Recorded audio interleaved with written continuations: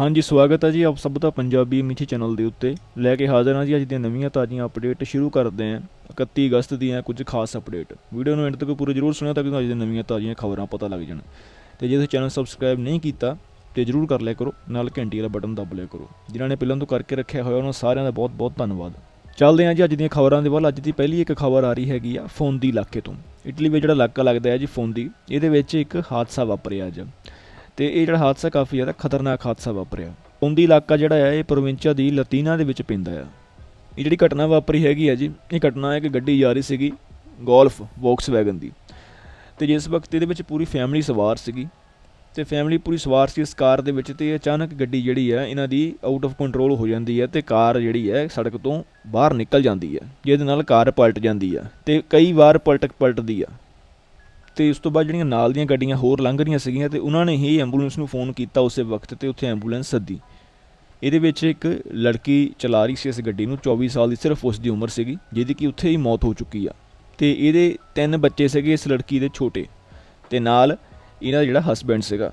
ਤੇ ਇੱਕ ਬਹੁਤ ਹੀ ਛੋਟਾ ਬੱਚਾ ਸੀਗਾ ਇਹਨਾਂ ਦਾ, ਜਿਹੜਾ ਕਿ ਕੁਝ ਸਮੇਂ ਪਹਿਲਾਂ ਹੀ ਪੈਦਾ ਹੋਇਆ ਸੀਗਾ ਤੇ ਉਸ ਨੂੰ ਇਸ ਵਕਤ ਐਮਰਜੈਂਸੀ ਦੇ ਵਿੱਚ ਰੱਖਿਆ ਹੋਇਆ ਆ। ਤੇ ਬਾਕੀ ਜਿਹੜੇ ਹੋਰ ਦੋ ਜਾਣੇ ਸੀਗੇ, ਉਹ ਵੀ ਜਿਹੜੇ ਆ ਇਸ ਵਕਤ ਐਡਮਿਟ ਕੀਤੇ ਹੋਏ ਆ ਹਸਪੀਟਲ ਦੇ ਵਿੱਚ। ਪਰ ਇਹ ਜਿਹੜੀ ਗੱਡੀ ਨੂੰ ਚਲਾ ਰਿਹਾ ਸੀਗਾ ਇੱਕ 22 ਸਾਲ ਦਾ ਲੜਕਾ, ਸਿਰਫ 22 ਸਾਲ ਦੀ ਉਸ ਦੀ ਉਮਰ ਸੀਗੀ ਤੇ ਉਹ ਇਸ ਨੂੰ ਚਲਾ ਰਿਹਾ ਸੀਗਾ ਜਿਹੜਾ ਕਿ ਬਾਕੀ ਨਾਲ ਉਹਦੀ ਆਪਣੀ ਫੈਮਿਲੀ ਸੀਗੀ ਤੇ ਅਲਬਾਨੀਆ ਕੰਟਰੀ ਦੇ ਰਹਿਣ ਵਾਲੇ ਸੀਗੇ ਇਹ ਸਾਰੇ ਤੇ ਉਹਦੀ ਜਿਹੜੀ ਵਾਈਫ ਸੀਗੀ ਜਿਹਦੀ ਉਮਰ 24 ਸਾਲ ਦੱਸੀ ਜਾ ਰਹੀ ਆ, ਉਹਦੀ ਜਾਨ ਜਾ ਚੁੱਕੀ ਆ। ਬਾਕੀ ਹੁਣ ਸਾਰੇ ਇਹ ਹਸਪੀਟਲ ਦੇ ਵਿੱਚ ਆ। ਤੇ ਇਹ ਜਿਹੜਾ ਮੁੰਡਾ ਸੀ ਜਿਹੜਾ ਕਿ 22 ਸਾਲ ਦੀ ਜਿਹਦੀ ਉਮਰ ਦੱਸੀ ਜਾ ਰਹੀ ਆ ਜੀ, ਇਹਨੂੰ ਦੱਸਿਆ ਜਾਇਆ ਵੀ ਇਹਨੇ ਇਸ ਵਕਤ ਪੋਜ਼ਿਟਿਵ ਆਇਆ ਹੈ ਨਸ਼ਾ ਕੀਤਾ ਹੋਇਆ ਸੀ ਅਲਕੋਹਲ ਵੀ ਪੀਤੀ ਹੋਈ ਸੀ। ਇਸੇ ਕਰਕੇ ਗੱਡੀ ਜਿਹੜੀ ਹੈ ਆਊਟ ਆਫ ਕੰਟਰੋਲ ਹੋਈ ਹੈ ਤੇ ਜਿਹਦੇ ਚੱਲਦਿਆਂ ਪੂਰੀ ਫੈਮਿਲੀ ਬਰਬਾਦ ਹੋ ਗਈ। ਕੁੜੀ ਦਾ ਨਾਮ ਜਿਹੜਾ ਸੀਗਾ ਜੀ, ਮਾਰੀਆ ਗਰਾਸੀਆ ਨਾਮ ਸੀਗਾ 24 ਸਾਲ ਦੀ ਉਮਰ ਸੀ ਸਿਰਫ ਤੇ ਤਿੰਨ ਬੱਚੇ ਸੀ ਛੋਟੇ। ਇਸ ਤੋਂ ਬਾਅਦ ਅਗਲੀ ਖਬਰ ਹੈਗੀ ਹੈ ਜੀ ਫੁੱਟਬਾਲ ਨੂੰ ਲੈ ਕੇ। ਇਟਲੀ ਵਿੱਚ ਜਿਹੜੇ ਆ, ਮੈਚ ਚੱਲ ਰਹੇ ਆ ਇਸ ਵਕਤ ਤੇ ਅੱਜ ਜਿਹੜੇ ਆ, ਚਾਰ ਮੈਚ ਲੱਗਣ ਵਾਲੇ ਆ। ਇੱਕ ਤਾਂ ਜਿਹੜਾ ਆ, ਮੈਚ ਲੱਗਣਾ ਹੈਗਾ ਆ, ਬਲੋਨੀਆ ਐਂਪੋਲੀ ਦਾ, ਜਿਹੜਾ ਕਿ ਤਕਰੀਬਨ 6:30 ਵਜੇ ਸ਼ੁਰੂ ਹੋ ਜਾਣਾ ਆ। ਤੇ ਉਸ ਤੋਂ ਬਾਅਦ ਲਾਤਸੀਓ ਤੇ ਮਿਲਾਨ ਦਾ ਲੱਗਣਾ ਹੈ ਤੇ ਨਾਪੋਲੀ ਤੇ ਪਾਰਮਾ ਦਾ ਵੀ ਲੱਗਣਾ ਹੈ। ਜਿਹੜੇ ਫੁੱਟਬਾਲ ਨੂੰ ਫੋਲੋ ਕਰਦੇ ਆ, ਅੱਜ ਉਹਨਾਂ ਦੇ ਵਾਸਤੇ ਕਾਫੀ ਖਾਸ ਦਿਨ ਆ, ਕਿਉਂਕਿ ਅੱਜ ਜਿਹੜੇ ਆ ਮੈਚ ਲੱਗਣ ਵਾਲੇ ਆ। ਤੁਹਾਡੇ ਵਿੱਚੋਂ ਫੁੱਟਬਾਲ ਨੂੰ ਕੌਣ-ਕੌਣ ਦੇਖਦਾ ਹੈ? ਕਮੈਂਟ ਕਰਕੇ ਜਰੂਰ ਦੱਸਿਓ, ਜਾਂ ਫਿਰ ਸਾਰੇ ਕ੍ਰਿਕਟ ਵਾਲੇ ਹੀ ਆ। ਇਸ ਤੋਂ ਬਾਅਦ ਅਗਲੀ ਖਬਰ ਹੈਗੀ ਆ ਜੀ, ਪੋਕਰੋਸਵ, ਇਹ ਇਲਾਕਾ ਲੱਗਦਾ ਯੂਕਰੇਨ ਦਾ, ਤੇ ਇਸ ਇਲਾਕੇ ਦੇ ਵਿੱਚ ਇਸ ਵਕਤ ਇਸ ਇਲਾਕੇ ਨੂੰ ਘੇਰ ਲਿਆ ਗਿਆ ਆ, ਰਸ਼ੀਆ ਦੀ ਮਿਲਟਰੀ ਦੇ ਵੱਲੋਂ, ਤੇ ਰਸ਼ੀਆ ਦੀ ਮਿਲਟਰੀ ਇਸ ਪਿੰਡ ਨੂੰ ਘੇਰਿਆ ਹੋਇਆ, ਪੂਰਾ ਦਾ ਪੂਰਾ ਇਹ ਸ਼ਹਿਰ ਘੇਰਿਆ ਹੋਇਆ। ਤੇ ਉੱਥੇ ਹੁਣ ਇਸ ਵਕਤ ਲੋਕ ਜਿਹੜੇ ਆਪਣੇ ਘਰ ਛੱਡ ਕੇ ਭੱਜ ਰਹੇ ਆ। ਤੇ ਯੂਕਰੇਨ ਨੂੰ ਜਿਹੜੇ ਪ੍ਰੈਜ਼ੀਡੈਂਟ ਹੈਗੇ, ਉਹ ਕਹਿ ਰਹੇ ਵੀ ਜੇਕਰ ਤੁਸੀਂ ਆਪਣਾ ਘਰ ਹੁਣ ਛੱਡ ਦਿੱਤਾ ਤੇ ਦੁਬਾਰਾ ਘਰ ਤੁਹਾਨੂੰ ਮਿਲਣਾ ਨਹੀਂ ਹੈਗਾ ਆਪਣਾ। ਤੇ ਹੁਣ ਜਿਹੜਾ ਰਸ਼ੀਆ ਦੀ ਮਿਲਟਰੀ ਵੱਲੋਂ ਹਮਲਾ ਕੀਤਾ ਗਿਆ, ਕਿਉਂਕਿ ਪਿਛਲੇ ਕੁਝ ਦਿਨਾਂ ਤੋਂ ਯੂਕਰੇਨ ਹਮਲੇ ਕਰ ਰਿਹਾ ਸੀਗਾ ਤੇ ਯੂਕਰੇਨ ਉਹਨਾਂ ਦੀ ਇਲਾਕੇ ਵਿੱਚ ਅੰਦਰ ਮਿਲਟਰੀ ਭੇਜ ਰਿਹਾ ਸੀਗਾ। ਤੇ ਹੁਣ ਕੰਮ ਸਾਰਾ ਪੁੱਠਾ ਹੋ ਗਿਆ, ਰਸ਼ੀਆ ਨੇ ਦੁਬਾਰਾ ਫਿਰ ਤੋਂ ਆਪਣੀ ਮਿਲਟਰੀ ਅੱਗੇ ਭੇਜੀ ਤੇ ਇਹਨਾਂ ਦੇ ਫਿਰ ਤੋਂ ਜਿਹੜੇ ਆ, ਸ਼ਹਿਰਾਂ ਦੇ ਵਿੱਚ ਮਿਲਟਰੀ ਆ ਗਈ ਆ। ਤੇ ਇਸ ਵਕਤ ਜਿਹੜੇ ਇਹ ਮਿਲਟਰੀ ਆ, ਸਿੱਧੀ ਕੀਵ ਜਿਹੜੀ ਇਹਨਾਂ ਦੀ ਕੈਪੀਟਲ ਹੈ ਉਹਦੇ ਵੱਲ ਵਧ ਰਹੀ ਅੱਗੇ। ਇਸ ਤੋਂ ਬਾਅਦ ਅਗਲੀ ਖਬਰ ਹੈਗੀ ਆ ਜੀ, ਰਸ਼ੀਆ ਵੱਲੋਂ ਇੱਕ ਜਿਹੜਾ ਜਹਾਜ਼ ਸੀਗਾ F16, ਜਿਹੜਾ ਕਿ ਅਮਰੀਕਾ ਦਾ ਬੜਾ ਹੀ ਪਾਵਰਫੁਲ ਫਾਈਟਰ ਜੈਟ ਹੈ ਤੇ ਰਸ਼ੀਆ ਨੇ ਰੇਡ ਕੀਤੀ ਆ ਤੇ ਰਸ਼ੀਆ ਨੇ ਇਹਨਾਂ ਦਾ ਜਹਾਜ਼ ਹੀ ਉਡਾਤਾ ਤੇ ਜਿਹੜਾ ਪਾਇਲਟ ਸੀਗਾ ਪਾਇਲਟ ਦੀ ਜਾਨ ਚਲੀ ਗਈ ਆ। ਤੇ ਉਸ ਤੋਂ ਬਾਅਦ ਰਸ਼ੀਆ ਦਾ ਬਿਆਨ ਆਉਂਦਾ, ਉਹ ਕਹਿ ਰਹੇ ਵੀ ਜਿਹੜਾ ਇਹ ਜਹਾਜ਼ ਹੈ ਇਹ ਜਿਹੜਾ ਹਥਿਆਰ ਹੈ ਇੰਨਾ ਤਕੜਾ ਹਥਿਆਰ ਹੈ ਪਰ ਇਹ ਹਥਿਆਰ ਜੇਕਰ ਤੁਸੀਂ ਬੇਵਕੂਫਾਂ ਦੇ ਹੱਥ ਵਿੱਚ ਦਵੋਗੇ ਤੇ ਇਹੀ ਹਾਲ ਹੋਣਾ ਇਸ ਹਥਿਆਰ ਦਾ। ਤੋ ਰਸ਼ੀਆ ਨੇ ਬਹੁਤ ਵੱਡੇ ਲੈਵਲ ਤੇ ਯੂਕਰੇਨ ਦੇ ਪਾਇਲਟਾਂ ਦੀ ਬੇਇੱਜ਼ਤੀ ਕਰ ਦਿੱਤੀ, ਵਿੱਚ ਯੂਐਸਏ ਦੀ।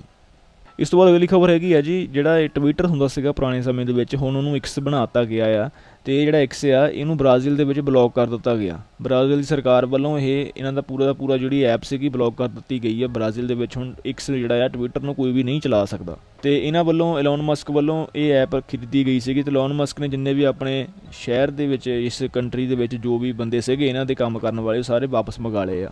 ਇਸ ਤੋਂ ਬਾਅਦ ਅਗਲੀ ਖਬਰ ਹੈਗੀ ਹੈ ਜੀ, ਇਸ ਵਕਤ ਜਿਹੜੀ ਗਾਜ਼ਾ ਦੇ ਵਿੱਚ ਜੋ ਪ੍ਰੋਬਲਮ ਆਈ ਹੈ ਨਿਕਲ ਕੇ ਤੇ ਉਹਦੇ ਵਿੱਚ ਹੁਣ ਕੱਲ ਨੂੰ ਲੜਾਈ ਰੋਕ ਦਿੱਤੀ ਗਈ ਹੈ ਉੱਥੇ ਦੀ ਤੇ ਕੱਲ ਨੂੰ ਉੱਥੇ ਕੈਂਪੇਨ ਚਲਾਈ ਜਾਣੀ ਹੈ ਐਂਟੀ ਪੋਲੀਓ ਕਿਉਂਕਿ ਬੱਚੇ ਇੱਥੇ ਪੋਲੀਓ ਦਾ ਸ਼ਿਕਾਰ ਹੋ ਰਹੇ ਆ। ਤੇ ਦੱਸਿਆ ਜਾ ਰਿਹਾ ਜੀ ਕੱਲ ਨੂੰ ਜਿਹੜੀ ਆ ਤਕਰੀਬਨ 6 ਲੱਖ 40 ਹਜ਼ਾਰ ਬੱਚਿਆਂ ਦੇ ਘੱਟੋ ਘੱਟ ਜਿਹੜੇ ਆ ਵੈਕਸੀਨੇਸ਼ਨ ਜਿਹੜੀ ਹੈ ਕਰਨ ਦੀ ਉਮੀਦ ਕੀਤੀ ਜਾ ਸਕਦੀ ਹੈ ਵੀ ਵੱਧ ਤੋਂ ਵੱਧ ਬੱਚਿਆਂ ਦੇ ਵੈਕਸੀਨ ਲਗਾ ਦਿੱਤੇ ਜਾਣ ਪੋਲੀਓ ਦੇ ਤਾਂ ਕਿ ਬੱਚੇ ਪੋਲੀਓ ਦੇ ਸ਼ਿਕਾਰ ਨਾ ਹੋਣ। ਡਬਲਯੂ ਵਿੱਚ ਵੱਲੋਂ ਤਕਰੀਬਨ 12 ਲੱਖ ਦਵਾਈਆਂ ਜਿਹੜੀਆਂ 12 ਲੱਖ ਵੈਕਸੀਨ ਭੇਜੇ ਗਏ ਆ ਗਾਜ਼ਾ ਦੇ ਵਿੱਚ ਤਾਂ ਕਿ ਉੱਥੇ ਜਿਹੜੇ ਬੱਚੇ ਆ ਉਹਨਾਂ ਦਾ ਬਚਾਅ ਕੀਤਾ ਜਾ ਸਕੇ। ਇਸ ਤੋਂ ਬਾਅਦ ਅਗਲੀ ਖਬਰ ਹੈਗੀ ਆ ਜੀ ਨਾਪੋਲੀ ਜਿਹੜਾ ਇਲਾਕਾ ਇਟਲੀ ਦਾ, ਇਹਦੇ ਵਿੱਚ ਇੱਕ ਰੈੱਡ ਜ਼ੋਨ ਬਣਾਇਆ ਗਿਆ ਇਸ ਇਲਾਕੇ ਦੇ ਵਿੱਚ। ਇਹਦੇ ਬਾਰੇ ਤੁਹਾਨੂੰ ਅਸੀਂ ਪਹਿਲਾਂ ਵੀ ਦੱਸਿਆ ਹੋਇਆ ਸੀਗਾ ਕੰਪੀ ਫਲੇਗਰੇਈ ਨਾਮ ਦਾ ਇੱਕ ਇਲਾਕਾ ਆ। ਤੇ ਇਸ ਨੂੰ ਪੂਰੇ ਨੇ ਪੂਰੇ ਇਲਾਕੇ ਨੂੰ ਰੈੱਡ ਜ਼ੋਨ ਦੇ ਵਿੱਚ ਕੀਤਾ ਗਿਆ, ਬਦਲ ਦਿੱਤਾ ਗਿਆ। ਉਹ ਇਸ ਕਰਕੇ ਬਦਲ ਦਿੱਤਾ ਗਿਆ ਕਿਉਂਕਿ ਥੱਲੇ ਜਿਹੜਾ ਹੈ ਜੀ ਇਹਦੇ ਵਿੱਚ ਵੁਲਕੈਨਿਕ ਐਕਟੀਵਿਟੀਜ਼ ਕਾਫੀ ਜ਼ਿਆਦਾ ਹੁੰਦੀਆਂ, ਯਾਨੀ ਕਿ ਥੱਲੇ ਜਿਹੜੇ ਆ, ਜਵਾਲਾਮੁਖੀ ਵਗੈਰਾ ਹੈਗੇ ਆ। ਤੇ ਬਾਈ ਦਾ ਵੀ ਜੇਕਰ ਇਹ ਫਟ ਜਾਂਦੇ ਆ, ਤੇ ਜਿੰਨੇ ਵੀ ਬੰਦੇ ਉੱਤੇ ਰਹਿ ਰਹੇ ਉਹਨਾਂ ਦਾ ਬਹੁਤ ਵੱਡੇ ਲੈਵਲ ਤੇ ਨੁਕਸਾਨ ਹੋਣਾ ਆ। ਤੇ ਇਹਦੇ ਉੱਤੇ ਸਰਕਾਰ ਇਸ ਵਕਤ ਕਾਫੀ ਜ਼ਿਆਦਾ ਚਿੰਤਾ ਦੇ ਵਿੱਚ ਆ। ਤੇ ਇਹਨੂੰ ਬਚਾਉਣ ਦੇ ਵਾਸਤੇ, ਲੋਕਾਂ ਨੂੰ ਬਚਾਉਣ ਦੇ ਵਾਸਤੇ ਸਰਕਾਰ ਨੇ ਨਾਪੋਲੀ ਦੇ ਵਿੱਚ ਕਈ ਜਿਹੜੇ ਆ ਪਲਾਨ ਤਿਆਰ ਕੀਤੇ ਹੋਏ ਆ ਵੀ ਜਿਸ ਵਕਤ ਕੋਈ ਐਸਾ ਘਟਨਾ ਵਾਪਰ ਜਾਵੇ ਤੇ ਲੋਕਾਂ ਨੂੰ ਉਸ ਵਕਤ ਕਿੱਦਾਂ ਕੱਢਣਾ ਸ਼ਹਿਰ ਦੇ ਵਿੱਚੋਂ। ਹੁਣ ਇੱਕ ਨਵਾਂ ਜਿਹੜਾ ਪਲਾਨ ਤਿਆਰ ਕੀਤਾ ਗਿਆ ਆ ਤੇ ਉਸ ਪਲਾਨ ਦੇ ਵਿੱਚ ਦੱਸਿਆ ਗਿਆ ਵੀ ਉਹ ਕਮੂਨਾ ਜਿਹੜਾ ਨਾਪੋਲੀ ਦਾ ਉਹਨਾਂ ਨੂੰ ਦੇ ਦਿੱਤਾ ਗਿਆ ਐਕਸਪੋਰਟਸ ਵੱਲੋਂ। ਸਾਰਾ ਕੁਝ ਉਹਨਾਂ ਨੂੰ ਜਿਹੜਾ ਹੈ ਦੇ ਦਿੱਤਾ ਗਿਆ ਹੈ ਵੀ ਜੇਕਰ ਕੋਈ ਭਚਾਲ ਦਾ ਝਟਕਾ ਲੱਗਦਾ ਹੈ ਤੇ ਭਚਾਲ ਤੋਂ ਬਾਅਦ eruption ਹੁੰਦੀ ਹੈ ਯਾਨੀ ਕਿ ਜਵਾਲਾਮੁਖੀ ਫਟ ਜਾਂਦਾ ਤੇ ਉਸ ਟਾਈਮ ਜਿਹੜੇ 2 ਲੱਖ ਬੰਦਾ ਆ, ਉਹਨਾਂ ਨੂੰ 48 ਘੰਟਿਆਂ ਦੇ ਅੰਦਰ ਅੰਦਰ ਕਿੱਦਾਂ ਕੱਢਣਾ ਆ ਬਾਹਰ? ਤੇ ਜਦੋਂ 12 ਘੰਟਿਆਂ ਤੋਂ ਬਾਅਦ ਜਿਹੜਾ ਅਲਾਰਮ ਦਾ ਥਰਡ ਫੇਸ ਜਿਹੜਾ ਲੱਗ ਜਾਣਾ ਰੈੱਡ ਅਲਰਟ ਥਰਡ ਫੇਸ ਤੇ ਪਹੁੰਚ ਜਾਣਾ। ਤੇ ਇਸ ਪਲਾਨ ਦੇ ਵਿੱਚ ਕਈ ਗੇਟ ਤਿਆਰ ਕੀਤੇ ਗਏ ਆ, ਕਈ ਜਿਹੜੇ ਆ ਸੇਫ ਪੁਆਇੰਟ ਤਿਆਰ ਕੀਤੇ ਗਏ, ਜਿਹਦੇ ਵਿੱਚ ਹਰ ਇੱਕ ਬੰਦਾ ਆਪਣੀ ਆਪਣੀ ਕਾਰ ਦੇ ਵਿੱਚ ਉਸ ਗੇਟ ਤੱਕ ਪਹੁੰਚੇਗਾ। ਇਸ ਤੋਂ ਇਲਾਵਾ ਬੱਸ ਵੀ ਲਗਾਈਆਂ ਜਾਣਗੀਆਂ ਤੇ ਹੋਰ ਕੁਝ ਵੀ ਜਿਹੜੇ ਕੀਤੇ ਜਾਣਗੇ, ਤਕਰੀਬਨ 750 ਜਿਹੜੇ ਡਰਾਈਵਰ ਆ, ਉਹ ਇਸੇ ਕਰਕੇ ਤਿਆਰ ਕੀਤਾ ਗਿਆ। ਹੁਣ 4 ਸਤੰਬਰ ਨੂੰ ਇਹਨੂੰ ਪੇਸ਼ ਕਰਨਾ ਉੱਥੇ, ਜਿਹੜੀ ਉੱਥੇ ਦੀ ਕੌਂਸਲ ਜਿਹੜੀ ਆ, ਨਾ ਨਾਪੋਲੀ ਦੀ, ਉਹਦੇ ਵਿੱਚ ਪੇਸ਼ ਕੀਤਾ ਜਾਣਾ ਇਸ ਨੂੰ ਤਾਂ ਕਿ ਇਹਨੂੰ ਅਪਰੂਵ ਕੀਤਾ ਜਾ ਸਕੇ। ਪਲਾਨ ਦੇ ਵਿੱਚ ਨਵੇਂ ਏਰੀਆ ਤਿਆਰ ਕੀਤੇ ਗਏ ਐਮਰਜੈਂਸੀ ਵਾਲੇ, ਜਿੱਥੇ ਜ਼ਿਆਦਾ ਖਤਰਾ ਆਵੇ ਇਸ ਇਲਾਕੇ ਵਿੱਚ ਵਲਕਨ ਨੂੰ ਥੱਲੇੋਂ ਫੜ ਸਕਦਾ। ਨਵੇਂ ਗੇਟ ਤਿਆਰ ਕੀਤੇ ਗਏ ਆ, ਇੱਥੋਂ ਕਿ ਨਾਪੋਲੀ ਤੋਂ ਬੰਦੇ ਬਾਹਰ ਭੱਜ ਸਕਣ, ਤੇ ਤਿੰਨ ਤਰ੍ਹਾਂ ਦੇ ਅਲਰਟ ਜਾਰੀ ਕੀਤੇ ਗਏ ਪਹਿਲੇ ਨੰਬਰ ਤੇ ਯੈਲੋ ਅਲਰਟ ਯੈਲੋ ਅਲਰਟ ਦਾ ਮਤਲਬ ਕਿ ਇੰਨੀ ਜ਼ਿਆਦਾ ਕੋਈ ਘਬਰਾਉਣ ਵਾਲੀ ਗੱਲ ਨਹੀਂ। ਕੀ ਪਰ ਜੇਕਰ ਸੈਕੰਡ ਫੇਸ ਸਟਾਰਟ ਕਰ ਦਿੱਤਾ ਜਾਵੇ, ਜਿਹਨੂੰ ਕਿ ਔਰੇਂਜ ਅਲਰਟ ਕਿਹਾ ਜਾਣਾ ਉਹਨੂੰ ਪ੍ਰੀ ਅਲਾਰਮ ਸਿਚੁਏਸ਼ਨ ਵੀ ਕਹਿ ਸਕਦੇ ਆ ਆਪਾਂ। ਉਸ ਵਕਤ ਐਮਰਜੈਂਸੀ ਚਾਲੂ ਹੋ ਜਾਣੀ ਆ। ਜਿਸ ਵਕਤ ਔਰੇਂਜ ਅਲਰਟ ਲੱਗੇ ਆ ਉਸ ਟਾਈਮ ਜਿਹੜੇ ਜਿੰਨੇ ਵੀ ਲੋਕ ਰਹਿਣ ਵਾਲੇ ਹੈਗੇ ਆ, ਉਹ ਜੇਕਰ ਚਾਹੁੰਦੇ ਆ ਤੇ ਆਪਣੀ ਗੱਡੀ ਲੈ ਕੇ ਉੱਥੋਂ ਨਿਕਲ ਸਕਦੇ ਆ। ਤੇ ਆਪਣੇ ਘਰ ਦੇ ਵਿੱਚ ਵਾਪਸ ਨਹੀਂ ਜਾ ਸਕਦੇ ਜਦ ਤੱਕ ਦੁਬਾਰਾ ਫਿਰ ਤੋਂ ਯੈਲੋ ਅਲਰਟ ਨਾ ਕਰ ਦਿੱਤਾ ਜਾਵੇ। ਤੀਜੇ ਨੰਬਰ ਤੇ ਥਰਡ ਫੇਸ ਜਿਹੜਾ ਆ, ਉਹ ਹੈਗਾ ਰੈੱਡ ਅਲਰਟ ਜਦੋਂ ਵੀ ਰੈੱਡ ਅਲਰਟ ਹੁੰਦਾ ਆ, ਉਸ ਵਕਤ ਜਿੰਨੇ ਵੀ ਸ਼ਹਿਰ ਦੇ ਲੋਕ ਹੈਗੇ ਆ, ਸਾਰਿਆਂ ਨੂੰ ਆਪਣੀਆਂ ਕਾਰਾਂ ਲੈ ਕੇ ਜਾਂ ਕਿਸੇ ਵੀ ਤਰੀਕੇ ਨਾਲ ਘਰੋਂ, ਸ਼ਹਿਰ ਘਰੋਂ ਬਾਹਰ ਨਿਕਲਣਾ ਪੈਣਾ ਤੇ ਸ਼ਹਿਰ ਛੱਡਣਾ ਪੈਣਾ ਉਸੇ ਵਕਤ। ਹੱਦ 3 ਦਿਨ ਦਾ ਟਾਈਮ ਹੋਣਾ ਆ 72 ਘੰਟਿਆਂ ਦਾ ਟਾਈਮ ਹੋਣਾ ਲੋਕਾਂ ਦੇ ਕੋਲ। ਇਹ ਪੂਰਾ ਪੂਰਾ ਪਲਾਨ ਜਿਹੜਾ ਇਸ ਵਕਤ ਤਿਆਰ ਕਰ ਲਿਆ ਗਿਆ ਆ। ਸੋ ਸਰਕਾਰ ਇਸ ਵਕਤ ਜਿਹੜੇ ਐਕਸਪੋਰਟ ਹੈ ਉਹਨਾਂ ਨੂੰ ਲੱਗ ਰਿਹਾ ਹੈ ਵੀ ਆਉਣ ਵਾਲੇ ਸਮੇਂ ਵਿੱਚ ਨਾਪੋਲੀ ਵਿੱਚ ਕੋਈ ਵੱਡੀ ਤਬਾਹੀ ਹੋਣ ਦੀ ਖਤਰਾ ਹੈਗਾ ਆ। ਇਸੇ ਕਰਕੇ ਜਿਹੜੇ ਇਸ ਵਕਤ ਇਹ ਕੰਮ ਜਿਹੜਾ ਕੀਤਾ ਜਾਇਆ, ਜਾ ਰਿਹਾ ਆ। ਸੋ ਉਮੀਦ ਕਰਦੇ ਹਾਂ ਇਦਾਂ ਦਾ ਕੁਝ ਵੀ ਨਾ ਹੋਵੇ, ਕਿਉਂਕਿ ਲੱਖਾਂ ਹੀ ਲੋਕ ਉੱਥੇ ਵੱਸਦੇ ਆ ਹਜ਼ਾਰਾਂ ਦੀ ਗਿਣਤੀ ਦੇ ਵਿੱਚ। ਤੇ ਇਦਾਂ ਦਾ ਕੋਈ ਵੀ ਘਟਨਾ ਨਾ ਵਾਪਰੇ। ਜਿੰਨੇ ਵੀ ਆਪਾਂ ਨੂੰ ਨਾਪੋਲੀ ਤੋਂ ਸੁਣਦੇ ਆ, ਵੀ ਜਿਹੜੀ ਆਪਣੀ ਭਾਸ਼ਾ ਸਮਝਦੇ ਆ, ਪੰਜਾਬੀ ਉਹਨਾਂ ਸਾਰਿਆਂ ਨੂੰ ਅਲਰਟ ਆ ਤੁਸੀਂ ਜੇਕਰ ਤੁਹਾਨੂੰ ਇਸ ਬਾਰੇ ਹੋਰ ਇਨਫੋਰਮੇਸ਼ਨ ਚਾਹੀਦੀ ਹੈ ਸਾਨੂੰ ਕਮੈਂਟ ਕਰਕੇ ਦੱਸਿਓ। ਤੇ ਬਾਕੀ ਅਲਰਟ ਰਹੀਓ ਥੋੜਾ ਜਿਹਾ। ਕਿਉਂਕਿ ਭਚਾਲ ਦੇ ਝਟਕੇ ਉੱਥੇ ਲਗਾਤਾਰ ਬਹੁਤ ਲੱਗ ਰਹੇ ਆ, ਤੇ ਅੱਜ ਫੇਰ ਇੱਕ ਭਚਾਲ ਦਾ ਝਟਕਾ ਲੱਗਾ 3.7 ਮੈਗਨੀਟਿਊਡ ਦਾ। ਇਸ ਤੋਂ ਬਾਅਦ ਅਗਲੀ ਖਬਰ ਹੈਗੀ ਹੈ ਜੀ, ਵਾਲੇ ਦਾ ਉਸਤਾ ਜਿਹੜਾ ਕਿ ਇਟਲੀ ਦਾ ਇੱਕ ਬੜਾ ਹੀ ਮਸ਼ਹੂਰ ਤੇ ਪਪੂਲਰ ਜਗ੍ਹਾ ਹੈ ਤੇ ਕਾਫੀ ਸੋਹਣੀ ਜਗ੍ਹਾ ਵੀ ਮੰਨੀ ਜਾਂਦੀ ਹੈ ਤੇ ਵਾਲੇ ਦਾ ਉਸਤਾ ਦੇ ਵਿੱਚ ਬੇਸ ਜੰਪ ਵੀ ਕਰਦੇ ਆ, ਜਿਹੜੀ ਬੇਸ ਜੰਪਿੰਗ ਹੁੰਦੀ ਆ, ਜੰਪ ਮਾਰਦੇ ਜਿਹੜੇ ਪਹਾੜੀਆਂ ਤੋਂ। ਤੇ ਇਦਾਂ ਹੀ ਅੱਜ ਇੱਕ ਜਿਹੜਾ ਬੇਸ ਜੰਪਰ ਨੇ ਛਾਲ ਮਾਰੀ ਹੈ ਤੇ ਜਦੋਂ ਉਹ ਛਾਲ ਮਾਰੀ ਹੈ ਤੇ ਉਹਦਾ ਜਿਹੜਾ ਪੈਰਾਸ਼ੂਟ ਸੀਗਾ ਅਜੇ ਖੁੱਲਿਆ ਹੀ ਨਹੀਂ, ਤੇ ਬੰਦਾ ਸਿੱਧਾ ਥੱਲੇ ਆ ਕੇ ਡਿੱਗਿਆ ਜਿਹਦੇ ਚੱਲਦੇ ਉਸ ਦੀ ਜਾਨ ਚਲੀ ਗਈ।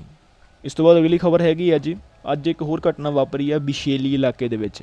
ਇਹ ਬਿਸ਼ੇਲੀ ਇਲਾਕੇ ਜਿਹੜਾ ਆ ਜਿਹੜਾ ਕਿ ਪ੍ਰੋਵਿੰਚਾ ਦੀ ਬਰਲੇਤਾ ਅੰਦਰੀਆ ਤਰਾਨੀ ਦੇ ਵਿੱਚ ਪੈਂਦਾ। ਜਿਹਦੇ ਵਿੱਚ ਇੱਕ 58 ਸਾਲ ਦਾ ਆਦਮੀ ਕਿਸੇ ਵਿਲੇ ਦੇ ਵਿੱਚ ਇੱਕ ਪ੍ਰਾਈਵੇਟ ਉਹਨਾਂ ਦਾ ਬਗੀਚਾ ਸੀਗਾ, ਜਿਹਦੇ ਵਿੱਚ ਦਰਖਤ ਵਗੈਰਾ ਕੱਟ ਰਿਹਾ ਸੀਗਾ। ਤੇ ਜਿਸ ਵਕਤ ਦਰਖਤ ਕੱਟ ਰਿਹਾ ਸੀਗਾ ਜੀ, ਉਸ ਵਕਤ ਇਹ ਜਿਹੜੀ ਹੁੰਦੀ ਹੈ ਮਸ਼ੀਨ ਜਿਹਦੇ ਉੱਤੇ ਚੜ ਕੇ ਤੁਸੀਂ ਦਰਖਤ ਕੱਟ ਸਕਦੇ ਆ, ਤੇ ਹਾਈਟ ਤੱਕ ਚਲੀ ਜਾਂਦੀ ਹੈ ਕਾਫੀ ਉੱਚੀ। ਉਹ ਜਿਸ ਵਕਤ ਦਰਖਤ ਕੱਟ ਰਿਹਾ ਸੀਗਾ ਤੇ ਅਚਾਨਕ ਉਸ ਨੂੰ ਪਤਾ ਨਹੀਂ ਲੱਗਾ ਤੇ ਜਿਹੜੀ ਮਸ਼ੀਨ ਸੀਗੀ ਜੀ, ਉਹ ਟੱਚ ਕਰ ਗਈ, ਪਿੱਛੇ ਹਾਈ ਵੋਲਟੇਜ ਜਿਹੜੀਆਂ ਤਾਰਾਂ ਸੀਗੀਆਂ ਉੱਤੇ। ਤੇ ਉਹ ਹਾਈ ਵੋਲਟੇਜ ਤਾਰਾਂ ਦੇ ਨਾਲ ਉਹਦਾ ਕੰਟੈਕਟ ਦੇ ਵਿੱਚ ਜਿਸ ਵਕਤ ਆਈ ਹੈ ਤੇ ਨਾਲ ਹੀ ਜਿਹੜਾ ਬੰਦਾ ਉੱਤੇ ਸੀਗਾ, ਇਹਨੂੰ ਬਹੁਤ ਤਕੜਾ ਝਟਕਾ ਲੱਗਾ ਤੇ ਕਰੰਟ ਲੱਗਣ ਦੇ ਚੱਲਦੇ ਉੱਥੇ ਇਹਨਾਂ ਦੀ ਜਾਨ ਹੋ ਚਲੀ ਗਈ।